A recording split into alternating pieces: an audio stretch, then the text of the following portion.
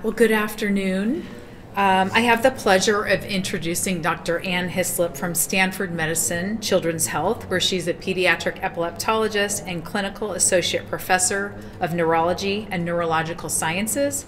The topic she will be discussing today is Introduction to Neuromodulation. Dr. Hyslop. All right, nice to meet you guys. We're gonna um, keep this casual.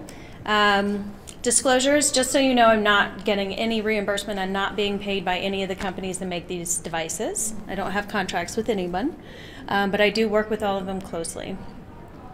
Um, and then when we are looking at candidacy for a neuromodulation device, it really does depend on the patient, and you should be working with your providers to dis- discuss whether or not one of these devices is a good fit. Um, and just as a reminder that you may hear over and over and over again, people that have failed two or more medications that are appropriately chosen and dosed should really have a surgical evaluation.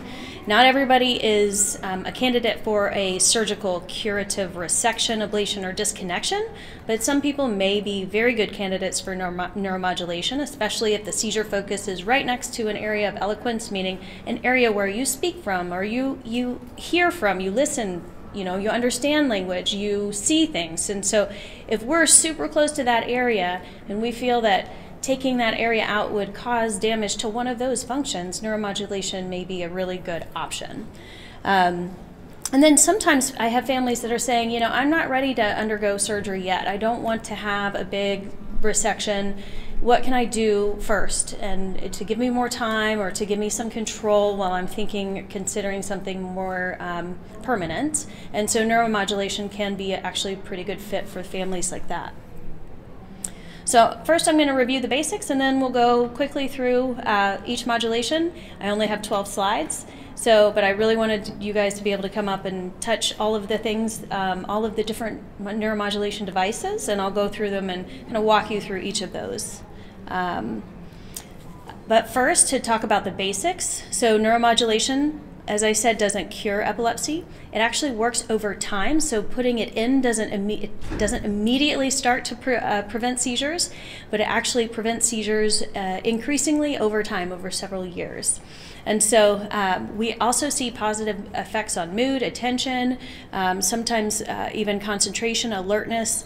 But we can see in some cases negative effects on mood. And so we screen patients very carefully. We kind of talk about what the risks are according to that patient before we choose a device that could potentially increase a mood problem. Every device consists of electrodes, wire connectors, a stimulator, and a battery, and a lot of them have a recording capability. So the device implantation itself are generally pretty safe, um, very well tolerated. And then, um, just so you know, VNS is approved to down to age four. Um, DBS and RNS are approved 18 and up, but we do use them in children already. Um, there's always a risk of worsening of seizures when one of these devices go in, but you would be surprised. It's actually pretty low. It's not something that we commonly see at all. Um, and then everybody asks, can I go through the scanners at the airport? And so this is in my basic slide because this is a really valid question. And so everybody that has a device that's implanted just in medicine, not even just neurology, gets a card that allows them to bypass the scanner and just get the wand scanner um, done instead. Um, it doesn't damage the device, but it can kind of reset things or change it a little bit and to go through the scanner, and so we generally avoid it. But and then all of these devices can be turned off, and they all can be removed if they're not working or someone feels that they don't want it anymore, except for the wire on the VNS that goes to the neck. Um, and I'll go over that a little bit more. So I'll start with VNS. So VNS was actually approved in 1997, so it's been out for a real long time. But several years ago, um, the age of indication or approval went down to um, four. And so what it is is it's this small battery-powered device that sits in the left chest, right here, and a, um, a electrode with an extension wire is tunneled up through the neck.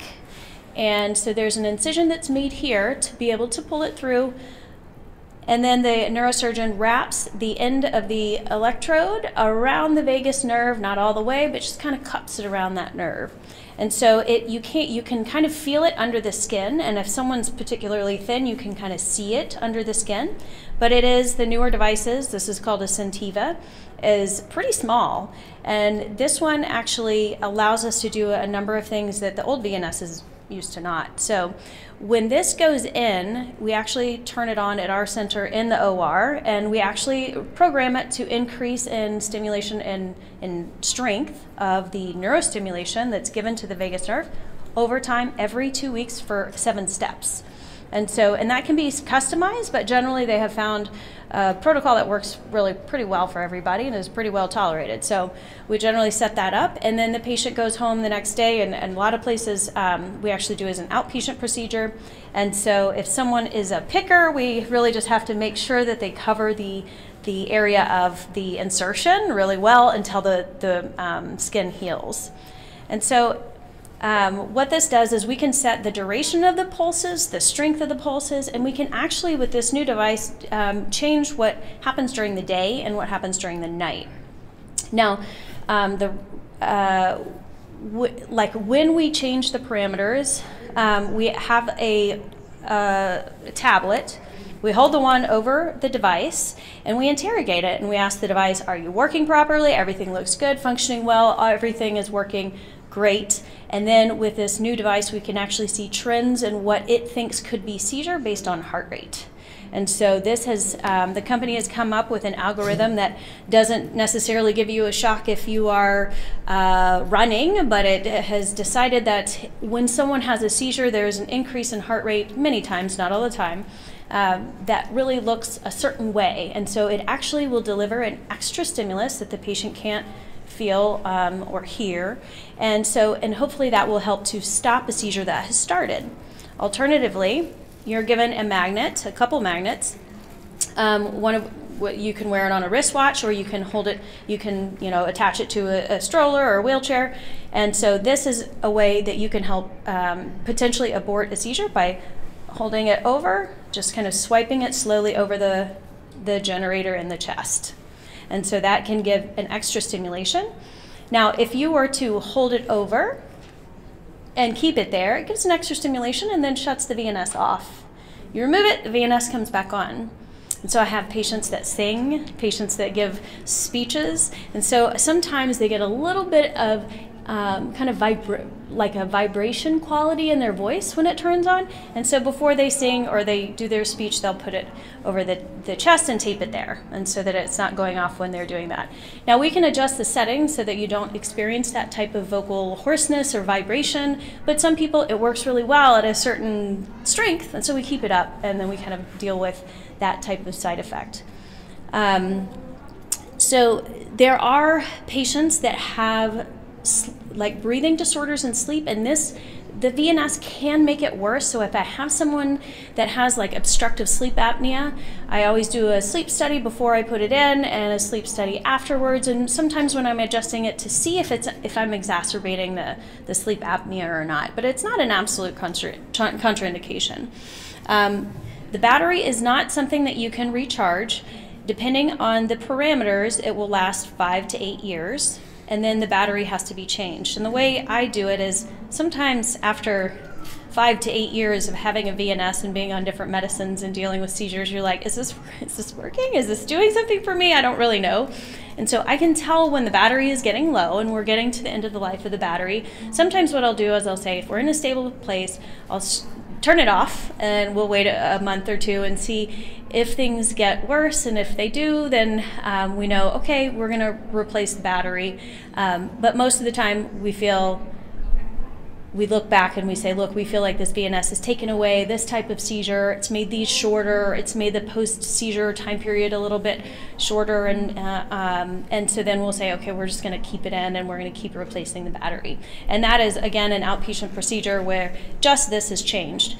Now, the, the wire, if somebody says, I want the VNS out, it's not working for me, we take it out, but we leave the wire that is in the neck because the the little electrode that is cupped around the vagus nerve actually kind of scars to the vagus nerve over time. It's actually more dangerous to try to pry it off and get it out. And so we, we just leave that in and it doesn't cause any stimulation or any issues, but that's something to know um, going into it. Now you can still get a brain MRI with this and we prefer turning it off before you go in the scanner. Um, it's something that uh, one of us has to do with the programmer. Okay, so responsive uh, neurostimulation. This is made by a company called NeuroPace. It was approved for um, people ages 18 and up with focal seizures in 2013. Now, um, it is a neurostimulator that is implanted in the skull. So this is for patients where we think we know the seizure, where the seizure is coming from, but we cannot take out that area. So it might be in the area of speech production or in the area of vision. Um, or they may have more than one area and we don't want to take out both. And so what this does is it's all in the head, so it's all in the skull.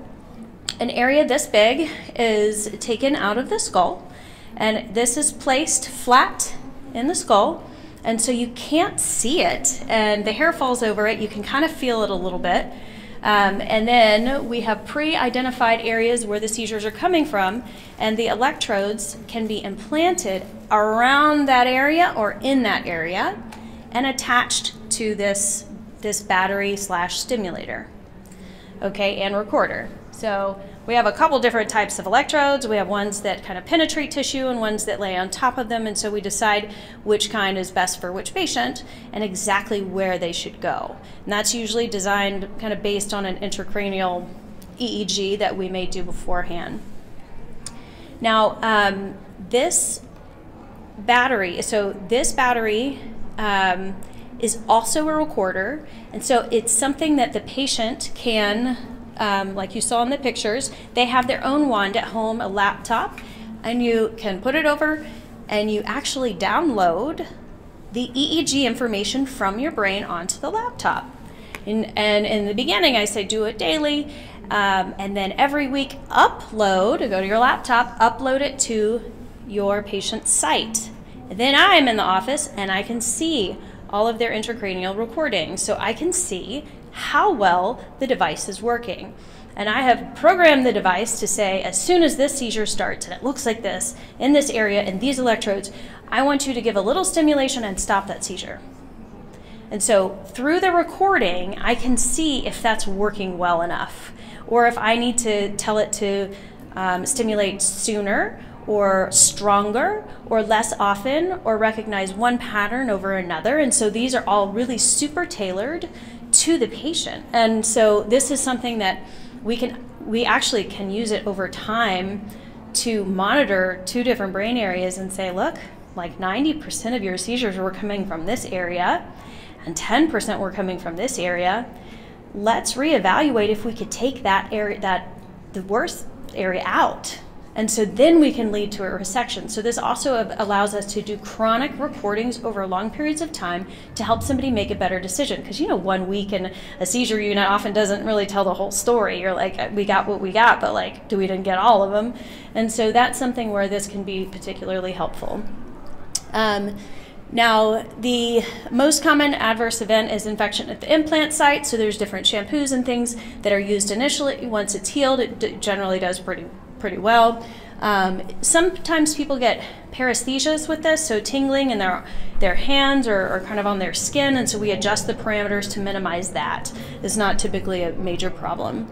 Um, there is uh, a risk, of course, if you get hit in the head, leading you you know may have a lead break or you may break the the part that connects the, the uh, electrode to the generator, and then we have to do a little revision.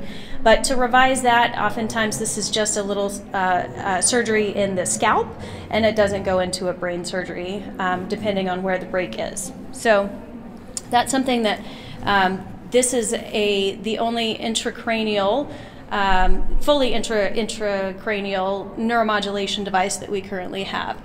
Now, the upkeep is a little bit more for this one. And so before we propose it, we always tell families what we would expect. You know, daily uploads for a while, uh, um, uploads onto the website once a week, and while we're making adjustments, and then we could, we meet with the patient, and even before you come into the office, I can say, okay, look, you know, we're seeing all these seizures, and they're coming from this area, and my my stimulation is going in 10 seconds too late, and so I kind of know what I need to do but I the next time you come in the office I ask like what did you feel? How did this happen? What you know what do you remember and with that, all that information, then we make those adjustments to make that work better for each individual patient. And so this requires a lot of like discussion and meeting, especially in the beginning. Um, now, this battery is also not rechargeable. It will last again about five to eight years, depending on the patient and how we have the parameters set. Um, and so, this one you can also now, just recently we learned that you can get a, a brain MRI. Um, now, one other thing that the NeuroPace can do um, is it comes with a magnet to kind of trigger extra recordings. So it's always taking recordings throughout the day. It's always recording what it thinks is a seizure, and it's able to record 10 seconds before and sometime after. But when a patient is feeling something and they want to know if that's a seizure, they can wave a magnet, it's a little donut shaped magnet, over the the generator and that kind of does an extra recording and they can say hey you know i wondered you know that thing i felt on tuesday around noon was that a seizure did you pick that up and so that's sometimes really helpful for us to identify like what is what And the last one that I have examples of up here is the deep brain stimulator. And again, this was approved in 2018 for people ages 18 and up with focal seizures. Um, now, this one, the electrodes are placed in the brain, but they are always placed in a, a part of the brain called the thalamus. We have a thalamus on both sides of the brain. It's really like if you drew a, like a, a a line between here and here. It's at the intersection right there. And so we have two little thalami on each sides of our brain. And this is an area that is really like a train station for the whole brain. So every like pathway kind of comes through here. And so it's really widely connected um, to the entire brain. And so what these electrodes are done is so these are stereotactically placed in a certain part of the thalamus, which can be hard to target. So efficacy does depend on how good the surgeon is at like threading this needle. Um, and so, and usually we place it on both sides, one in each thalamus. And then there are the the wires go down and into the chest to a recorder battery stimulator. And so this stimulator is similar in function to the VNS, where it's kind of like a pacemaker. It's just turning on and off, and on and off. And we can adjust how long it turns on, how long it turns off, how strong the current is. Um, but it's not responding to um, any type of activity in the brain. It's just it's just pacing on and off all the time. Now, um, more recently, we have seen people um, we have we have actually like with this new um, Percept, we're actually able to record some information, but we're still struggling with what exactly to do with that information and how it could potentially help us. So. Um, now, this is a, stimulator that's been out for a long time. I mean, it was approved in 1996 for um, like tremor and dystonia, so the safety is pretty well established. Um, even though it's approved only down to age 18, we, we use it in children for dystonia as well as uh, increasingly with um, epilepsy that we can't localize. We don't know where it's coming from, or it seems like it's coming from several different areas. And so, and there are currently um, some more trials on stimulating the thalamus um, with different devices that we are watching closely. Now, again, with this one, we can see paresthesias. Um, same type of tingling of the skin or the fingers that we can adjust the um, stimulation for. Um, but this is the one where we have seen problems with memory issues and depression in some of the trials.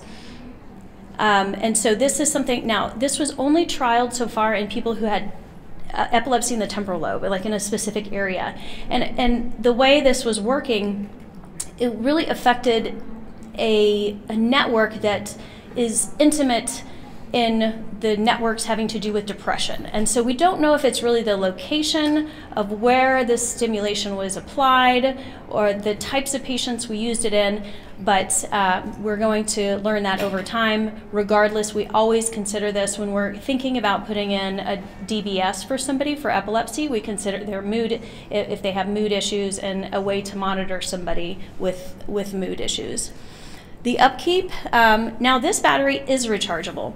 And so with this battery, um, it comes with, uh, the patient actually gets a little like cell phone um, which they can work on and say, hey, okay, I want to see how low is my battery. And if it's low, they are able to put a, a charging device over it, and it's kind of in a little necklace that hangs here and, and recharges the battery. And sometimes we ask them they have to do it every day or every few days, um, but they're able to kind of know how low the battery is getting.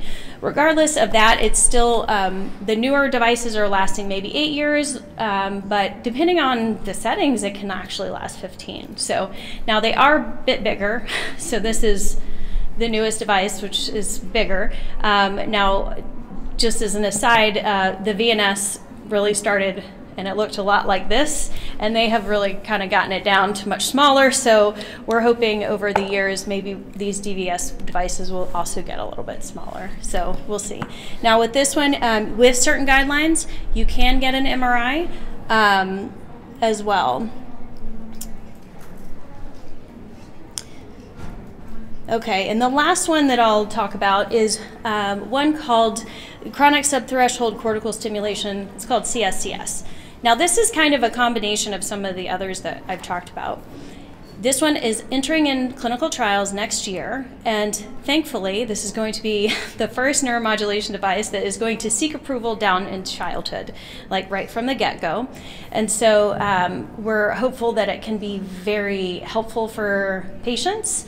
Um, it is a, a device that, similar to NeuroPace, sits on top of the brain area that we find in our pre-surgical evaluation to be the area causing seizures. So the electrodes sit on top of the cortex, on top of the brain surface, and it connects to a um, generator which is implanted in the chest. Now this generator, this the way it's done is when someone comes in for their surgical evaluation and they have electrodes in the in the brain to identify exactly where the seizures are coming from, we actually try stimulation parameters while they're implanted and we say, oh, look, this one works because their activity in the brain looks better when we do this. When we apply this type of stimulation at this, this duration, at this pattern, with this strength, it seems to work really well. And the, the company has developed some biomarkers that allow them to kind of accept, uh, uh, like um, assess efficacy at that time rather than waiting five years or seven years for us to know is it working. And so that's one of the things that I find really exciting about this uh, potential about CSCS. Now, um, once the device is implanted, we can make further adjustments, of course, in the outpatient setting, but there is less upkeep because it is not something that requires uploading or downloading or anything like that, and it may be directed. Now, what we understand about this is not only is it applying that like direct current a lot like that neuropace did but it is probably also changing seizure networks in a more widespread pattern. And so it is something that may be helping us in two different ways. So it's something that i'm very excited about. Um, now formal trials like i said are starting next year but the case series that has come out um, so far has been has shown some really good efficacy really early on, um, quoting about 57 to 99 percent seizure reduction in most patients. And so they're seeing some really good now. The real test will be those formal clinical trials and going through to see if this is something that's going to be borne out for everybody, who is it best for, um, and then what kinds of side effects are we going to see. Um, now, this one doesn't tip, this one has typically the side effects as we see in other patients. Um, implant site uh, infection can be a problem. Um, it's less likely to cause paresthesias, and so these are these are kind of like the things that we are looking forward to in this patient. So to summarize, you have the VNS, goes around the vagus nerve in the neck, implanted in the chest, turns on and off over time, day and night, has a way to rescue, kind of like abort seizures with the magnet, potentially. Um, the RNS, all located in the head, put on areas where we think that the seizures are starting, can be put on more than one location if we think there are two seizure foci. Um, and it's all in the, in, in the cranium requires some uploading and downloading on the on the side of the patient and the deep brain stimulator implanted in that little tiny part of the brain called the thalamus and um, in, on both sides and then one generator is implanted in the chest so um, that's all I have, but uh, my reminders to you are these don't cure epilepsy, these palliate epilepsy. They work over time, and so we can see improvements in seizure um, reduction up to 75% when we, when we reach that five year, seven year, nine year mark. Um, and then other points that I didn't mention. In my opinion, the side effect for these, for neuromodulation, is actually favorable compared to many of our anti seizure medicines. And so it's something that I have implanted patients just because I wanted to get them off of medicines. And so you know, I you know, I have put VNSs in in patients that have significant ADHD and they have to take two types of stimulants and they're on three seizure medicines. It's a lot of medicine. So putting in a VNS reduce the seizures. We could be on one seizure medicine, um, and then they could really concentrate more and feel less. Um, stress taking just their ADHD medicine and their once a day seizure medicine. Um, now, the selection of type is really different. Like these are all neuro- neuromodulation devices, and so it's kind of hard to like talk about them all at the same time. But because they're so different in how they they um, in, in a way in how they work and who they are best for. One patient, it, it may one thing may work really well, where the other one is just there's not even doesn't even make sense to try. Um, and then interestingly, someone asked this in an earlier session about having a VNS and potentially getting a DBS. Having one doesn't exclude you from having another. And so, interestingly, I think 45% of the people who were in the DBS trial already had VNSs in. and so, I mean, these are uh, potentially even complementary. Uh, um, devices that because they work slightly differently and so we've also had patients that had a VNS in, took it out, and then had the RNS placed. Um, and so this is something that I think we're going to see more of over time because more patients are implanted, but we may also be able to predict who is like which mod- modulation device is best for which patient, and so maybe we'll see less doubling up. Who knows? But um, so th- I would love to have anybody um, ask questions or come up and be able to touch these devices and look at them and just keep it informal. So happy to do that. Yeah.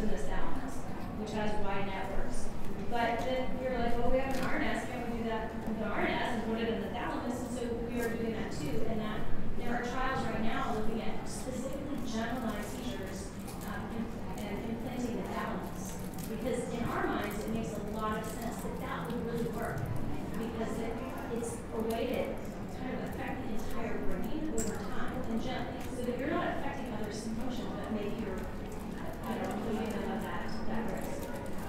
Yeah. Is the CSCS going to be like kind of like a combination of the VNS, the RNS, I mean, you know what I mean? Like, yeah. So, yeah. You the heart rate plus the, the EEG reading plus the, the, the value. Yeah, so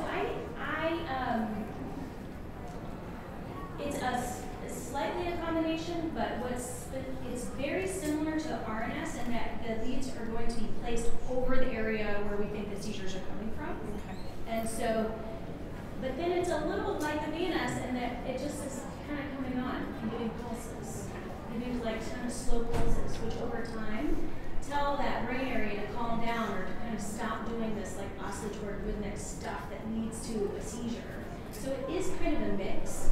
Um, and then the biomarkers, I think, is where it's going to be very helpful to see if we can really determine what parameters someone needs to be set at before they leave the unit. And so they go home with their device and we know the best parameters or close to the best to start off. And so maybe we don't have to wait months or years to see the best seizure reduction.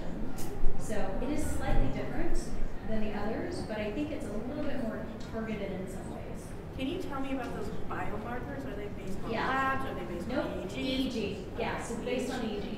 So they'll look at things like um, the fast, the you know, there are parts of the, the EEG squiggles that are slow, and then there are times where they're very fast. And it's going to look at like how do those change in relation to each other.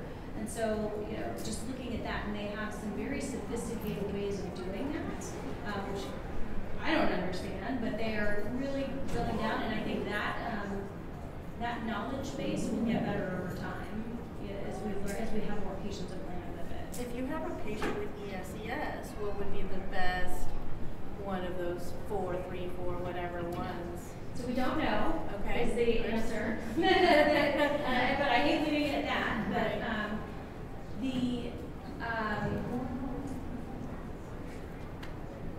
there are theories that in ESES, the thalamus is a key player because the thalamus is kind of a pacemaker for our brains. It's constantly just has this beat.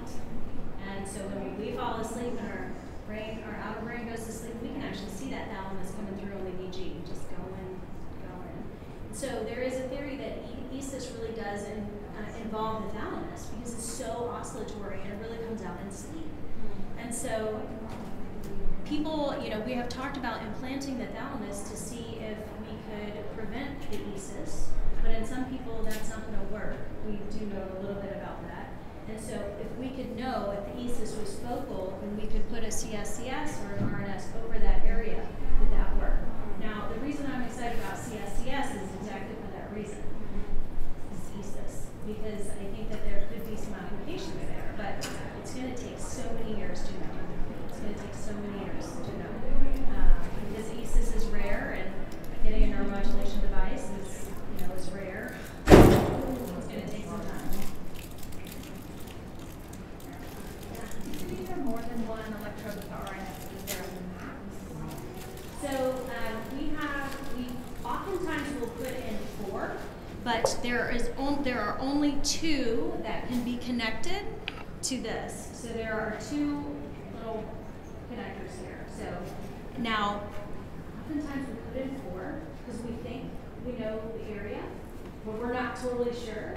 So we implant four, maybe here, for example, and we connect this one and this one. And then we go, okay, that's not working well. It's been like six months, a year, but we have these two others this other location that we thought could be helpful. And then a skin incision is made, and the other two are connected. So it saves you a whole other brain surgery.